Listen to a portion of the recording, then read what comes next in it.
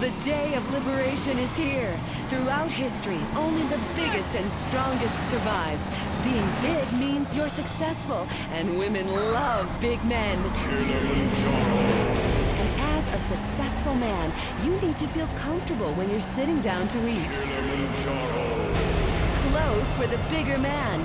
Don't be bound by society, bogus medicine, and the media with their unhealthy focus on being skinny. Don't be constrained by trying to squeeze into a triple X. Bored of feeling like a man in a sausage skin in your size 48 jeans? Bored of being uncomfortable? Kilimanjaro, the clothes shop for enormous men. We're fighting to end hunger. Yours.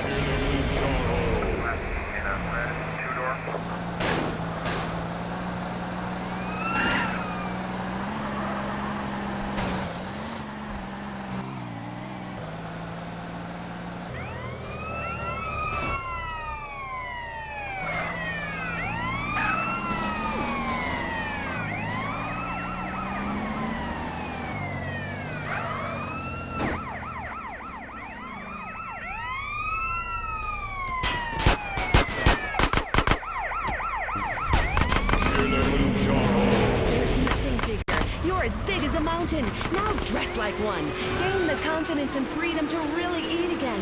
When you were little, your mom got you clothes you could grow into. The same applies here. She loves love handles.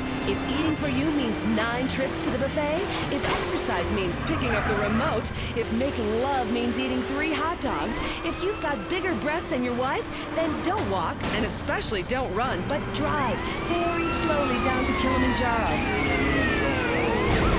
We've got the clothes for you. From romper suits for wearing around the house to outsized Hawaiian shirts and elasticized trousers for the office. There's nothing better. There's nothing bigger. Kilimanjaro, the clothes shop for enormous men. Celebrating no diet day. Fat liberation is here at Kilimanjaro. We're fighting to end hunger. Yours.